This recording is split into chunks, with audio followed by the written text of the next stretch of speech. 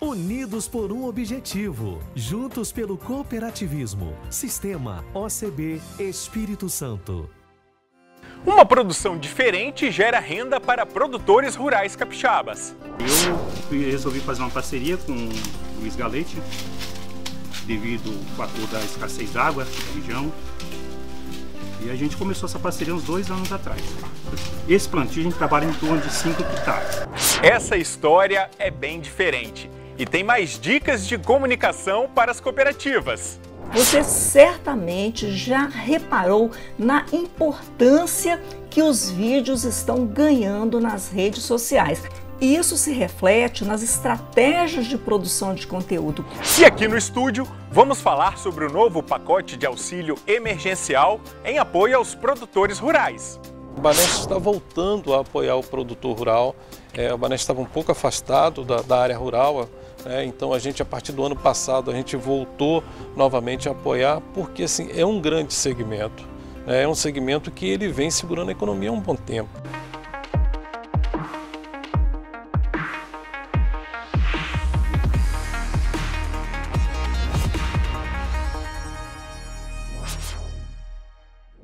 Você vai conhecer um sistema de manejo na produção de leite que permite até um mês de férias sem deixar alguém cuidando do plantel. Parece impossível, não é? Mas não é não. Longe de um estábulo ou do tradicional método composto, onde as vacas passam a maior parte do tempo protegidas por um telhado, aqui os animais ficam soltos no pasto, um método bastante tradicional na Austrália e Nova Zelândia foi justamente em um desses países que esse casal aprendeu o sistema de manejo implementado na propriedade deles, localizada no interior de Xanxerê. Quando fui crescendo, eu sabia que a minha vida teria que ser aqui. Então eu fui estudar, fui fazer veterinária. Após a faculdade, já formada em medicina veterinária, ela decidiu ir para fora estudar novas formas de manejo. Chegando lá, ela descobriu um novo mundo quando se fala em bovinocultura leiteira. Eles tinham é, pastagens é, com piquete rotacionado, com irrigação. Era bem simplificado a parte da estrutura, mas era um, um manejo fácil. André, um paulista criado em Minas Gerais, que depois de se formar como técnico agrícola, também foi buscar conhecimento lá fora. Quando eu vim para cá, especialmente aqui pro sul, eu vi que tinha a, a, o pessoal é, é muito no, tradicional, né? Tudo que é novo é um pouco diferente para você ser mudado. A gente veio, implementou o sistema, acreditamos no sistema e vamos prosseguir no sistema, tá? Na propriedade de apenas 12 hectares, a sala de ordenha é usada somente no período de lactação dos animais, que é quando eles recebem ração balanceada no coxo. O resto da dieta é baseada em pasto, Agora, o que possibilita a família conseguir tirar férias todos os anos é algo muito simples: o controle do cio das vacas. Esse sistema consiste em a gente concentrar todas as fêmeas aptas do rebanho para inseminar num determinado momento. É feita a sincronização do cio, também pode ser usado a indução do cio através de protocolos hormonais e, por último, o repasse com touro. Esse novo sistema se traduz também em economia para a família no campo, mas principalmente ganho em qualidade de vida. A lactação é de uma forma, se usa muito mais a estrutura, mas quando chega no final, para, para tudo ali, vai ficar ali, vamos falar no mínimo uns 20 dias, não precisa de energia elétrica, não temos funcionário, tá? Para o produtor, é a questão custo-benefício que faz ele e a esposa continuarem apostando na atividade. Eu faço as vacas trabalhar para gente, não eu o dia todo correndo atrás delas, entendeu? Ela vem, eu tiro o leite, ela vai pro pastinho dela, onde ela tem sombra e água fresca, e eu dou, dou, dou continuidade no serviço extra da propriedade. Vera Caser vem aí com as dicas de comunicação para as cooperativas. Oi, Vera! Oi, Bruno! Olá, você que está ligado aqui nas minhas dicas de comunicação e marketing no mundo cooperativo. Hoje nós vamos continuar falando sobre vídeos e sobre a importância das legendas. Você certamente já reparou na importância que os vídeos estão ganhando nas redes sociais. E isso se reflete nas estratégias de produção de conteúdo, porque as marcas sempre devem estar atentas às tendências, uma vez que as ações de marketing precisam ser realizadas de acordo com o momento vivido pelo usuário, pelo nosso cliente, pelo nosso cooperado, pelo consumidor. Observe, por exemplo, como os vídeos passaram a fazer parte da sua rotina de uma forma muito mais intensa do que ocorria há um tempo. Muitas vezes essas mudanças acontecem e a gente nem se dá conta. Mas olha, os dados nos trazem a realidade. Uma pesquisa que foi feita no início deste ano nos Estados Unidos, com 1.500 pessoas, mostra que 81% dos entrevistados utilizam o YouTube. Ou seja, para todo esse grupo, o YouTube é a rede preferida. Tudo bem que foi feita nos Estados Unidos essa pesquisa, mas ela é uma referência que serve para todo o planeta, inclusive para o Brasil. E já faz muito tempo que os vídeos deixaram de ser uma exclusividade do YouTube. Agora nós vemos vídeos o tempo todo em diversas redes sociais. No Instagram, por exemplo, tem vídeo no feed, nos stories, mais recentemente no Reels, IGTV e nas lives também. Na coluna anterior, nós começamos a falar sobre a importância das legendas. Elas ampliam o tempo de visualização dos vídeos e tem uma outra função muito importante que é permitir que pessoas com deficiência auditiva tenham acesso a esse conteúdo, o que acaba aumentando também a nossa audiência para o conteúdo que a gente produz. Agora vem comigo porque eu vou te dar dicas muito bacanas para você fazer legendas e ficar muito fortalecido na produção de vídeos. O primeiro que eu vou sugerir é o Vid.io, um editor de vídeo online que tem como uma das funções a produção de legenda. Ele tem versão gratuita e paga. Outra boa opção é o Captions. Gente, esse foi muito recomendado por colegas do meu grupo de marketing digital, o SMXP. É um aplicativo que foi desenvolvido especificamente para fazer legendas para o Instagram, o Snapchat e o TikTok. O bacana é que você pode gravar o seu vídeo fora dele, pode fazer o seu vídeo normalmente no celular, onde você quiser, e depois esse aplicativo vai, que vai estar instalado no seu celular vai então fazer essa legenda para você facilmente, com poucos cliques. Ele é bastante interativo. Outra ferramenta para legendar que vem sendo bastante usada é o Capwing.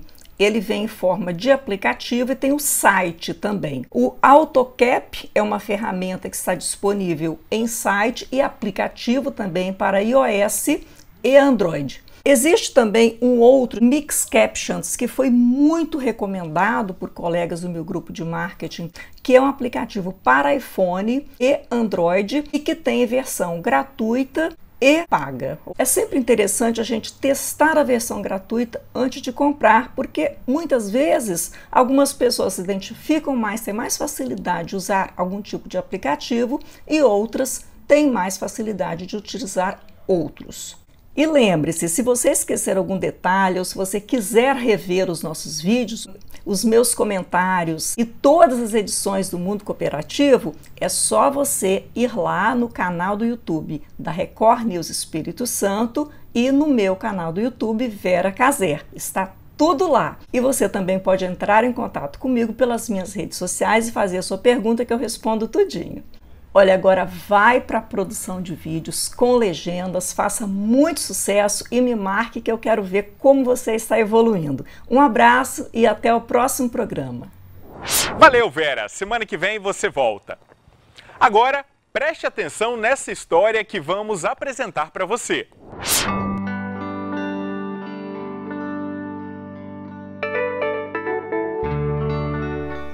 No início foi um pouco difícil, né? Porque o café anual, mas todo ano ele dá um pouquinho, ele dá. Então a gente queria mais uma coisa, que a, esse período da melga, ela é de três meses e dez dias, já está no ponto de corte e já começa a produzir. Agora o café é uma vez por ano. E já com a melga agora a gente está, pelo menos no início ali, que nós no foco da, da melga, teve muitas dificuldades, mas também teve muito lucro. Porque quase ninguém plantava na época. Hoje em dia tem muita gente arrancando café que nem eu fiz. Tem um ano e meio que eu planto um ano e meio para quase dois anos. E não me arrependo não de ter arrancado o café para plantar milka.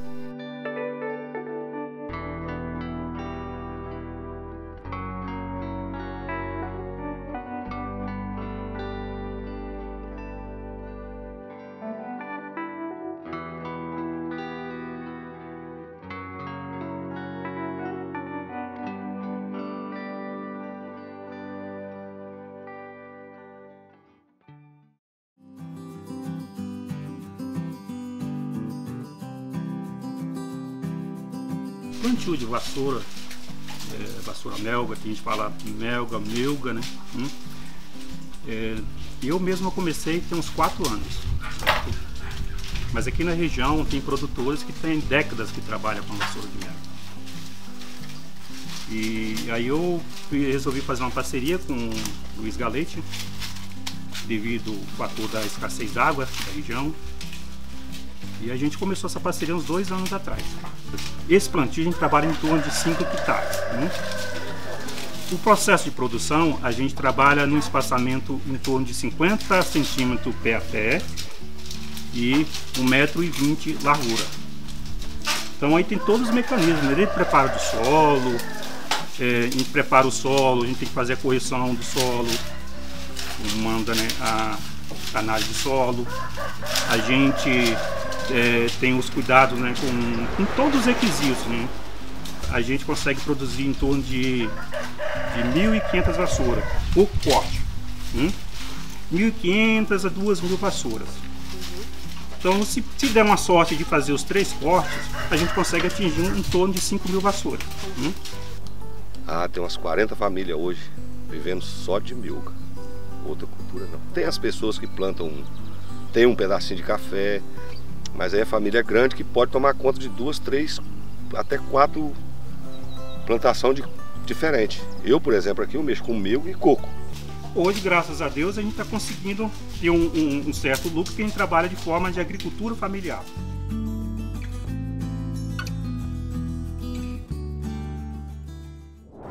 Muito bacana.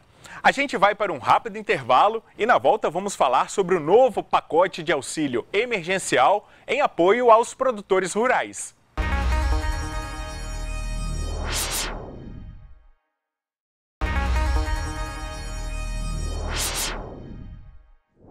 De volta com o mundo cooperativo e agora o assunto interessa muito a você, produtor rural que teve prejuízo na lavoura. O Banestes acaba de lançar um novo pacote de auxílio emergencial para ajudar os agricultores que tiveram perdas. Por isso, eu recebo aqui no estúdio o José Amarildo Casagrande, ele que é diretor-presidente do Banestes. Presidente, bem-vindo ao programa. Obrigado. Por que lançar esse programa, esse novo auxílio emergencial para os produtores? É, na verdade, veio por conta das chuvas, né? No final do, do mês de março, início de abril, a chuva muito forte, com granizo, tivemos aí muitos produtores que perderam a sua, a sua produção. Então, é, junto à Secretaria de Agricultura e o Incapé e o Baneste, a gente montou esse pacote para auxiliar o produtor que teve perda por conta dessas chuvas. O produtor foi surpreendido, mas vocês também foram surpreendidos ou isso já está no planejamento do banco, essas situações emergenciais, presidente? É, a gente tem que estar preparado para alguma dessas situações, né? É, eu acho que é, você estar preparado, você consegue tomar as decisões mais rápidas, né? Então, por isso a gente tem essa essa prática, né? Quando acontece isso, a gente rapidamente tomar uma, uma decisão de apoio ao produtor, até porque ele não pode esperar. E o que, que esse novo pacote oferece aos produtores? Bom, primeiro, o, quem tem parcela vencendo no, a partir de abril né, do seu financiamento rural, a gente vai prorrogar essa parcela, ele não vai pagar esse ano. Né? Então, é até quem tem parcela vencendo até 31 de dezembro de 2021, ele não vai pagar essa parcela.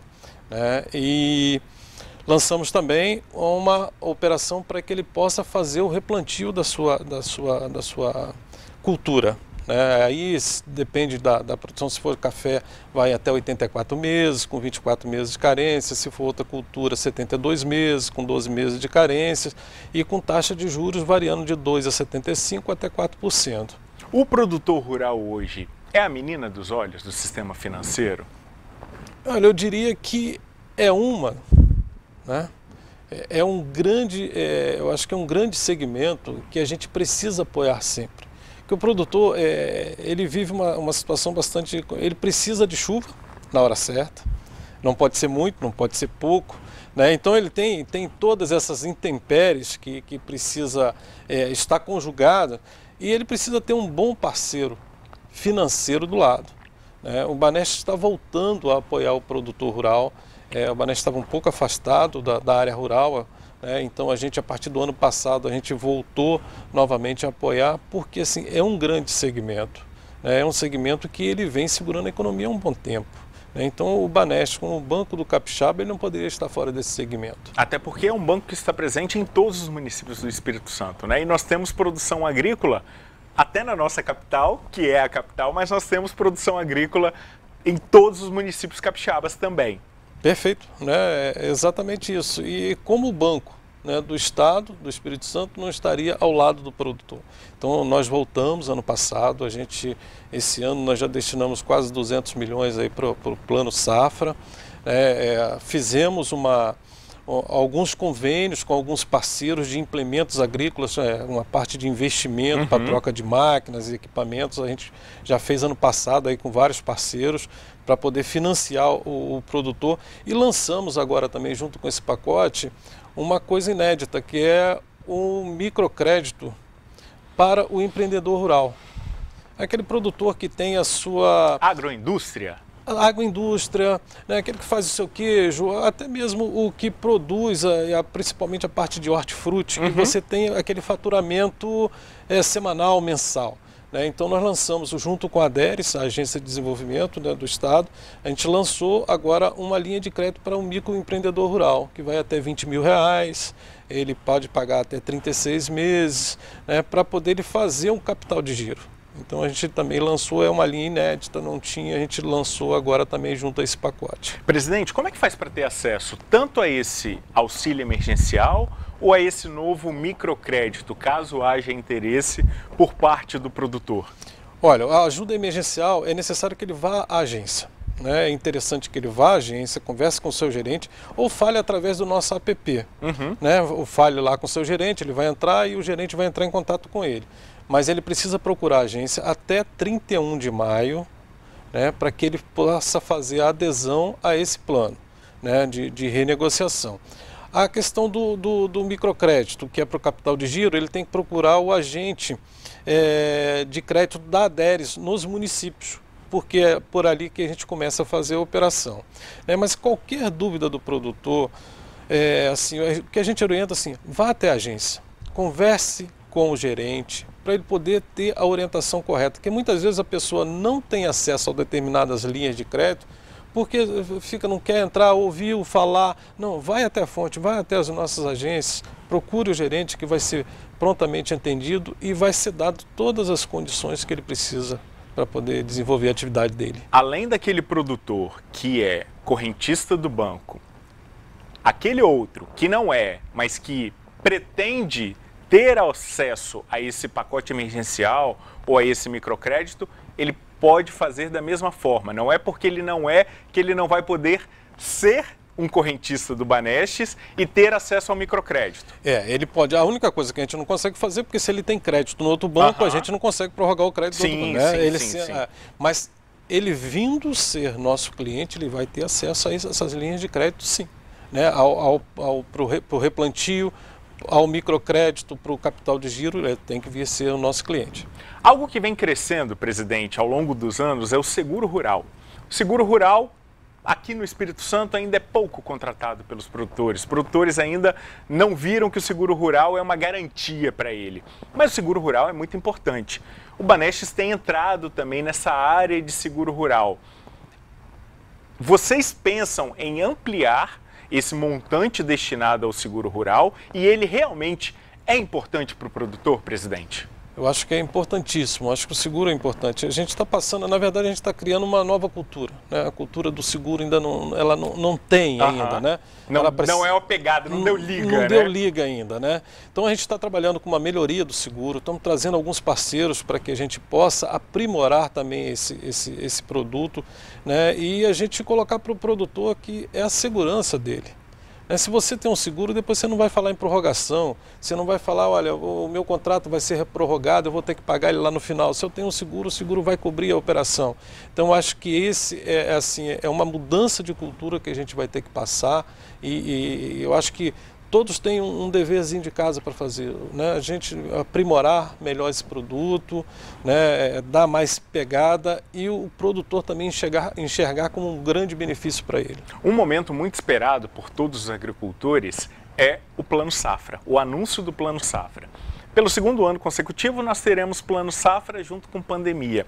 O Banestes pensa em aumentar a oferta de valores pro Plano Safra deste ano de 2021? Olha, para o Plano Safra de 2020 2021, terminando 2021, a gente tá, destinou 200 milhões. Né? Esse ano a gente está fazendo é, as, as, as, nossas provisões, previsões para o próximo, próximo ano. Eu posso garantir que não vai faltar recurso. Né? Se a gente tiver 200 milhões, nós vamos emprestar. Se tiver demanda para mais de 200 milhões, nós vamos ter também. Não tem, nós não teremos problema de recursos para emprestar para o produtor. Presidente, estamos chegando ao final da nossa entrevista. Queria que você olhasse para a câmera, convocasse aí os agricultores que são correntistas do banco para que procurem e que tenham acesso a esse novo auxílio emergencial para esse prejuízo provocado pela chuva em várias culturas aqui no Espírito Santo e lembrar a data, até quando ele pode fazer esse pedido do novo auxílio oferecido pelo banco.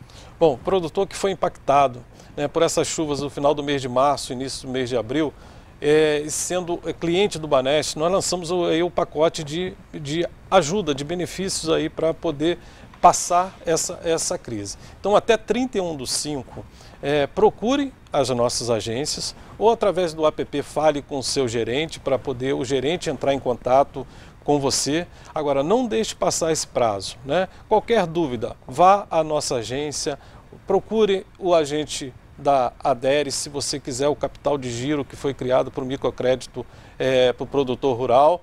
Né? E o Incaper também está nos auxiliando, ele que está fazendo os laudos. Então, você tem três fontes aí. O Incapé, Banestes e o agente de crédito da Aderes. Agora, não deixe de procurar, não deixe de passar esse prazo. Lembrando a data, 31 de maio. 31 certo? de maio. Né? E aquele que não é nosso cliente também venha ser nosso cliente, que teremos o maior prazer em atendê-lo. José Marildo Casagrande, diretor-presidente do Banestes, muito obrigado pela participação aqui no Mundo Cooperativo. A porta da nossa casa está aberta e eu espero que o senhor volte mais vezes aqui para bater um papo conosco. Eu que agradeço a oportunidade. O Mundo Cooperativo de hoje fica por aqui. Para você rever o programa é muito fácil, é só acessar o nosso portal Sim Notícias em simnoticias.com.br. Muito obrigado pela sua companhia e até o nosso próximo encontro. Tchau!